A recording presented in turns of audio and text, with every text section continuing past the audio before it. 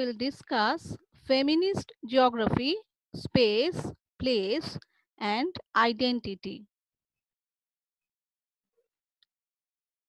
Now, this slide describes the scope of feminist geography.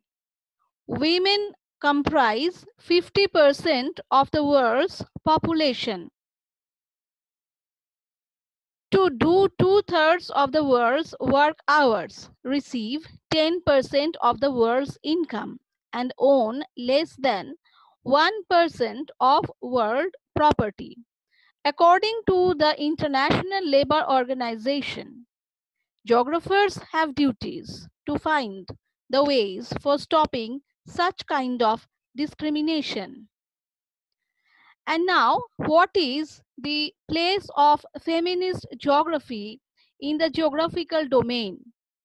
Geography as a whole can be divided into two major parts, physical geography and human geography. And feminist geography is a branch of human geography.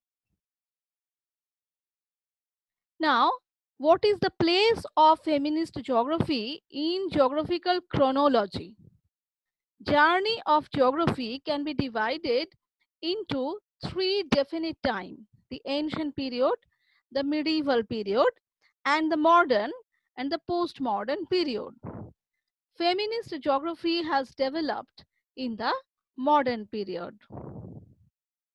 And geography has undergone three paradigms during its evolution. The pre-positivist paradigm, the positivist paradigm, and post-positivist paradigm. Feminist geography is the part of post-positivist paradigm. Geography in its journey has experienced two revolutions, quantitative revolution during positivist period and critical revolution during post-positivist period. Feminist geography is the part of critical revolution. And now here we will discuss the ideological space of the feminist geography. What is its principal focus? It analyzes geographic differences in gender relation and gender equality. Gender roles are the social definition of women and men. They vary among different societies and cultures, classes, ages, and during different periods in history. Gender specific roles and responsibilities are often conditioned by household structure, access to resources, specific impacts of the global economy, and other locally relevant factors such as ecological conditions. And gender relations are the ways in which a culture or society defines rights, responsibilities, and the identities of men and women in relation to one another. And there are some age-specific differences also. And it is a case study of rural Ethiopia. Mostly children collect and eat the fruit from wild plants and uh, the wild food and the families collect collected by children and women and prepared by the latter in all the areas surveyed. Able-bodied male members of the community usually migrate to find work during the food shortage and the women and children are left behind to manage as best they can. Here are also some details. And now, what is the main theme of feminist geography? It is actually a collection of social theories, political movements, and moral philosophies motivated by feminism. And what is its main reflection? It is the geographical nature of female experience. Uh, now, feminist geography has uh, some inclination in its ideological nature. The postmodern approach, which is not concerned with the development of conceptual theory, but rather focuses uh, on the real expectation of individual groups. And uh, it can be said that it is both uh, local and global in nature. So it has a global approach. And what is its uh, theme question? Its theme question is why do women remain in subordinate position in society and profession? Now, here is the aim of uh, feminist geography. It aims at exploring the ways in which uh, the current practices might be changed in order to release women from the state of subordination with respect to unequal power, opportunities, and uh, social status. And the objective of the feminist geography is to find out the root cause behind this diversity. And what is the identity of feminist geography? Feminism is a social and collective identity, and uh, it is also uh, political and personal ideologies. People who identify as feminists share togetherness and community that accompanies a social movement, which encompasses those who see gender as a major category of analysis, who critique female disadvantage and who work to improve women's situation. And uh, here is the relationship between the identity and space. Space in human civilization can be identified as public space and private space. In people's perception, public space is related to masculinity and the private space is related to femininity. In the same way, workplace is regarded as masculine and domestic place is uh, regarded as feminine. And the settlements are also not at all gender neutral Women's presence is accepted in public place only if they have some purpose. They do not feel comfortable loitering on streets or street corners and public place have inadequate ladies washroom, baby feeding room, etc. Women are more dependent on public transport. Women's complex responsibility uh, for household needs and caretaking purposes they need multiple stoppage of public transport, peripheral public transit route on which many women depend have less priority for the city planner. Generally, the transport routes follow radial commuter corridor going straight to the city center, which uh, uh, is uh, not useful uh, according to females' need. Here are uh, some examples of uh, crime or behavior towards uh, female in big cities. Uh, there is a theory that is uh, mind-body dualism. And in geography also, uh, such type of theories are nowadays explained male geographers tended to marginalize women uh, as only a topic uh, for their study. Until mid-late 90s, gender issues like embodiment, uh, visible form of an idea or feeling, the emotion or sexuality were considered inappropriate to study in geography. Women occupy space in an inhibited, unable to act in a relaxed or natural way because of self-consciousness or mental restraint away. And uh, the trend after Second World War is the town planners and administrators used pro-natalist approach in housing design. Women attempted to live in home and have more children and of course, not to work outside household gadgets are introduced and media and adver advertisements worked aggressively. And uh, there are some phases uh, in gender, gender geography. In the first phase is 1970s. The gender bias in the content, method, and purpose of the geographical research means that only half of the uh, human included in geography. Geographical research was conducted by white, able-bodied male people, the Davies, the Pink, the Thornbury. Influenced by liberal feminist movement, the idea of equality between men and women in both public and private place World of Geography accepted women in geographical researches. Uh, here are two uh, women geographer, renowned women geographer of uh, two ages. One is Ellen Churchill Semple. He lived between 1863 and 1932 and uh, then here is uh, Doreen Barbara Massey, who lived in the time 1944 to 2016.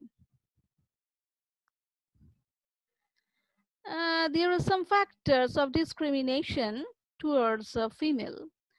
In case of providing education and access to sufficient food, always uh, parents uh, select the boy, boy child as per 2011 census data in India. Uh, the effective uh, literates uh, at the age of 7 and above were 82.14% for men and 65.46% for women. And son will continue the family names and perform funeral operations. Family will not enjoy the service and income of the girl in future. Uh, this type of beliefs are prevalent in Indian families. And wheat and rice politics create different scenario in North and West India on one hand and East and South India on the other. It leads to overall devaluation of women, low gender development index.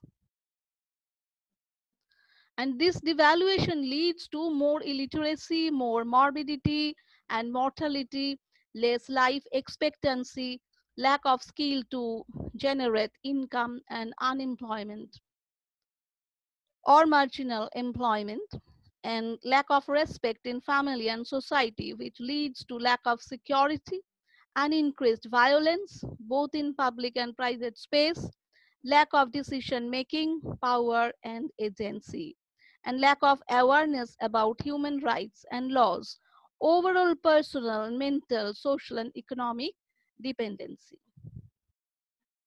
And dependency leads to social denial for mobility from home. Lesser mobility leads to lesser experience about outer world, lack of knowledge about modern humanistic perspective, being caged in religion, taboo, old beliefs, and customs. And the institutional or institution of marriage continues. And the another most important thing is menstruation. It is the worldwide symbol of weakness of womanhood mm, and it, it can be a general query that is menstruation a sin in hindu ritual women are forbidden from any duties related to worship during menstruation. And inside the institution of marriage, being a widow or uh, uh, being a victim of dowry or domestic violence and murder and lack of decision making uh, are the problems. Uh, here are uh, some points about radical feminism. Radical feminism says that root cause of female oppression is patriarchy. Subordination of women by men is the primary inequality in human society. And division of labor between men and women had given birth to the division of labor between class and race. And uh, militant uh, feminism uh, believes that men are the enemy. And here are another school of thought that is uh, socialist feminism. It finds the causes of women oppression in the wider framework of social relations existing in the society. It inclines to Marxism. It favors unity between men and women in the struggle between classes. It thinks that uh, way to achieve equality is through women empowerment. Two broad strategies of empowerment are power with and power within. Power with means collective action through organization and power within means skill and expertise through education. Uh, in the first wave of uh, feminism, according to Richard Peet, there are some happenings in the human civilization throughout the world.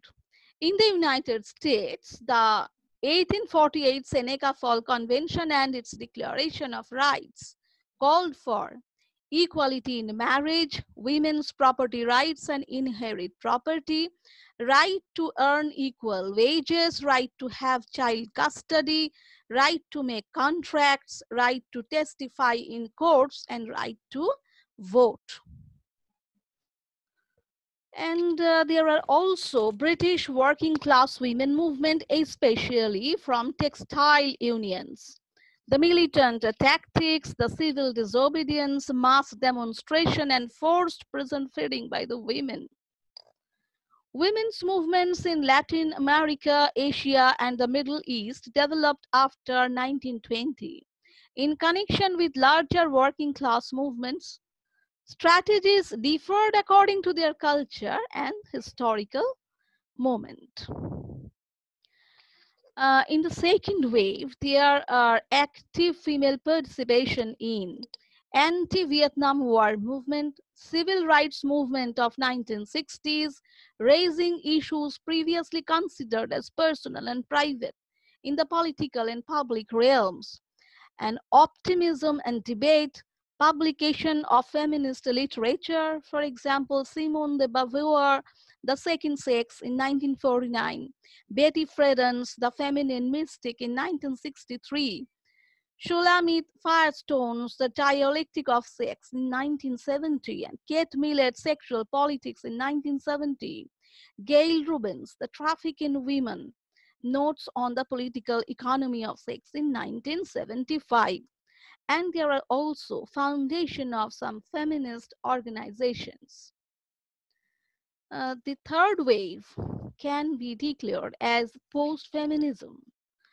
Mm, there are academic critique of knowledge, introduction of women's studies in universities in late 80s, discourses concerning abortion, crime, working environment, class and racial differences, immigration, coalesced around women's questions, importance of common women's identity as basis for political strategy, and declaration of women's uh, decade in United States, different international women's conferences, and the third world women movement against economic, environmental, legal, military, cultural, and physical threats. And also in the third wave, there were third world women movement, the Chipko movement in Himalayas, the Green Belt movement in Kenya, the Self-Employed Women's Association in India, Mothers of the Disappeared movement of Latin America, increasing feminist activities around human rights, justice, and environmental degradation, and also women's liberation movement. There is another wing, the women's liberation movement. It uh, needs uh, uh, further elaboration. Here are some sub-school of thought, that is liberal feminism, Marxist or socialist feminism, radical feminism, ecofeminism, post-feminism. And this slide describes the research method in feminist geography. Women were excluded from the geographical research in part because of methodological factors. There were unavailability of data, for example, of unpaid or household work, and male researchers preferred men as respondents, thus women's perception were ignored. Hence, the questions became, should there be any feminist research methodology? The topic should be feminist, objective of the research will be feminist, women interviewing women is needed, qualitative methodology with in-depth interview, small-scale research with case study and personal experience study. The periodical short but intense fieldwork is necessary to develop trust between the researcher and the respondent. In some cases, quantitative and qualitative dualism may be also practiced. The space place, identity and gender and what are the relationships among them. The masculinism claims universal spatial conquest. It stands upon the territorial logic. Feminism imagines somewhere beyond this territorial logic. This results into a paradoxical space. The paradoxical space means simultaneous insideness and outsideness, the center and margin at once.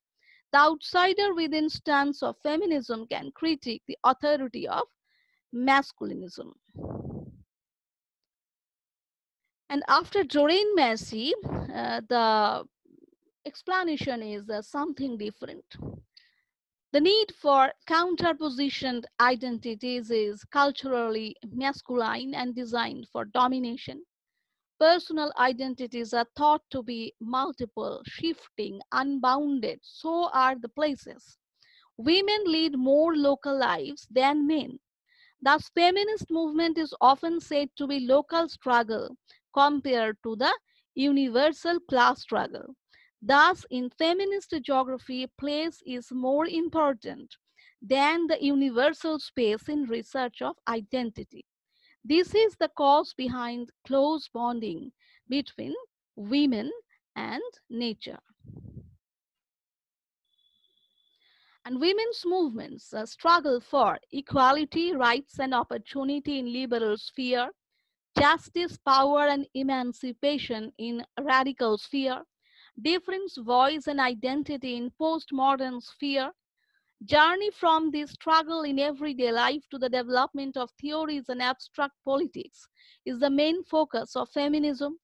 Through self-criticism, feminist thought has changed directions several times. From the universality of womanhood to differences between women, from women close to nature to femininity as social construction, from modern to postmodern. And here uh, is uh, something about feminist geography. I think the scholars or students of geography uh, have uh, something, have understood something about feminist geography. And Thank you very much.